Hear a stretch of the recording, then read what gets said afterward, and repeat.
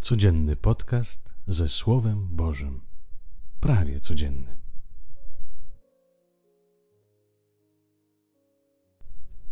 Panie, dziękujemy Ci, że zgromadziłeś nas, abyśmy słuchali Twoje słowo.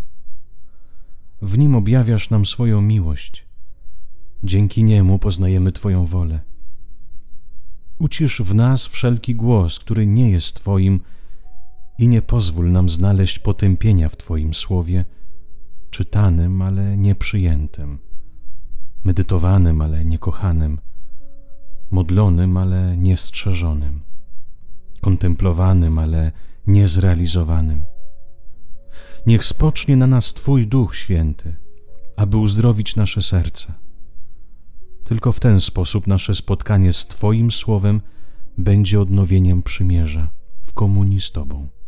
Synem i Duchem Świętym. Bóg niech będzie błogosławiony teraz i na wieki wieków. Amen.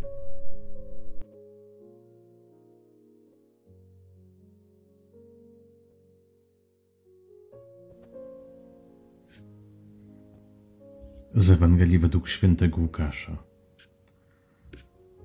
Pewnego razu Jezus wyszedł na górę, aby się modlić i całą noc trwał na modlitwie do Boga. Z nastaniem dnia przywołał swoich uczniów i wybrał spośród nich dwunastu, których też nazwał apostołami. Szymona, któremu nadał imię Piotr, i brata jego Andrzeja, Jakuba, Jana, Filipa, Bartłomieja, Mateusza, Tomasza, Jakuba, syna Alfeusza, Szymona z przydomkiem Gorliwy, Judę, syna Jakuba i Judasza Iskariotę, który stał się zdrajcą. Zszedł z nimi na dół i zatrzymał się na równinie. Był tam liczny tłum jego uczniów i wielkie mnóstwo ludu z całej Judei i z Jeruzalem oraz z nadmorskich okolic Tyru i Sydonu. Przyszli oni, aby go słuchać i znaleźć uzdrowienie ze swych chorób. Także i ci, których dręczyły duchy nieczyste, doznawali uzdrowienia. A cały tłum starał się go dotknąć, ponieważ moc wychodziła od niego i uzdrawiała wszystkich. Oto słowo Pańskie. Chwała Tobie, Chryste. Na pewno nie, nie wybrał tych najlepszych, ale wybrał prostych wybrał prostych ludzi, którzy go całe, Jezu, całe przepowiadanie Jezusa go nie rozumieli. Nie rozumieli Jezusa, nie przyjmowali Jego nauki, wciąż chcieli Jezusa pouczać, tak jak Piotr, tak jak synowie Zebedeusza, którzy, którzy chcieli po prostu zostać panami, władcami przy Mesjaszu u jego boku prawym i lewym. Jest tam Judasz Iskariota, ale są tam wszyscy, którzy, którzy powiedzieli nie Jezusowi, którzy nie poszli za Jego nauką, którzy zostawili Go w czasie, w czasie ukrzyżowania, w czasie męki, wtedy, kiedy Jezus najbardziej ich potrzebował. Ale pomimo tego Jezus wybiera ludzi prostych, i to jest dla mnie nieraz dziwne. Jezu, dlaczego Ty powołujesz ludzi prostych, grzesznych, słabych, ludzi, którzy Ciebie do końca nie rozumieją?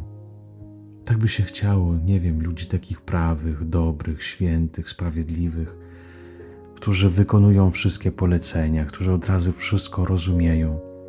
Jakby się chciało widzieć taki kościół, gdzie wszystko jest idealnie, gdzie można nie wiem, widzieć w każdym człowieku w kościele jakiś autorytet. Ale tak nie jest. Widzimy to do dzisiaj. Widzimy to, nie wiem, nawet na niedzielnej Eucharystii, kiedy patrzymy na nas, na naszego brata, naszą siostrę. Ludzie prości, grzeszni, często też przychodzący, nie wiem, na Eucharystię, będący we wspólnocie,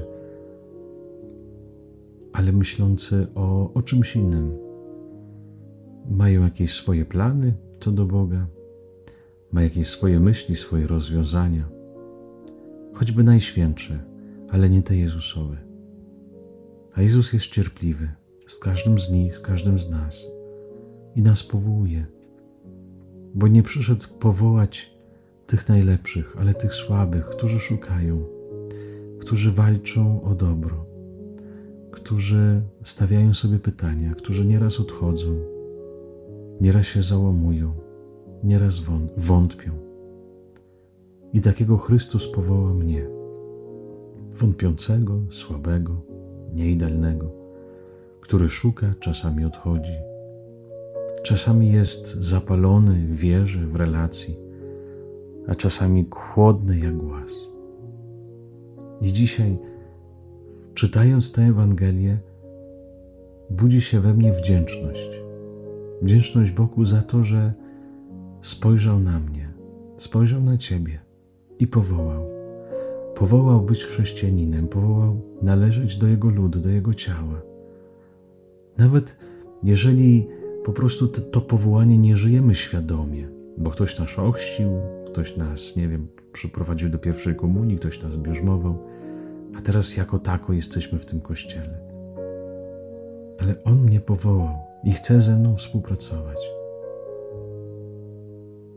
Chwała Ci, Panie, za ten wielki cud i za tą wielką Twoją odwagę. Powołałeś mnie słabego, by moc w słabości się doskonaliła. I chcę dzisiaj być Twoim narzędziem. Chcę dzisiaj razem z Tobą wyruszyć. Miej cierpliwość ze mną.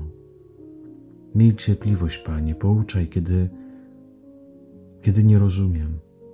Wspieraj, kiedy, kiedy wątpię. Pomóż wstać, kiedy upadam. Panie, jestem cały Twój, ale ten cały Twój jest słaby i marny. Niech wszystkich Was Pan Bóg błogosławi. Z Panem Bogiem.